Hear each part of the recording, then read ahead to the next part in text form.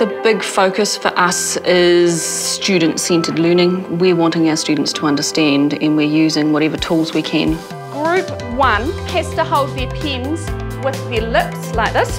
We use manipulatives, we use hands-on activities, we use real situations, we use whatever we can to engage those students and keep their focus and incorporate what they bring into the classroom as well. The student achievement within the mathematics faculty had not been as strong as we would have liked. Michelle came in as the driver for that change. She used the, uh, the New Zealand curriculum document as the catalyst to actually bring about that change and I think the effect that she has had on her colleagues, that she surrounded herself with an awesome team, and I think that teamwork has actually um, been the result of some outstanding shifts in student achievement and also in the way students are actually learning. Pairs, I want you to sort the data.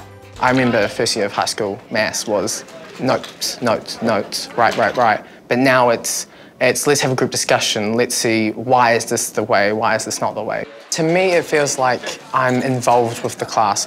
The things I do actually have like a meaning. It's not just me sitting down, writing line after line. It's giving entertainment value to maths. We spend a lot of time looking at what do we want from our students, not just mathematically, but as people, and then broke that down into, well, then how do we not only give them the knowledge to do that, but also the thinking skills needed to make that happen. You can have the opportunity to express your take on it, and then the teacher will sort of tailor that to what you need for the assessment, and there's a lot more freedom, I suppose, to yeah, develop your own thinking. Y equals X. Who can give me y equals x? What does that look like? I had a concern in year 12 particularly that students were not getting an understanding and a link between how graphs were written as a, an equation and how they occur.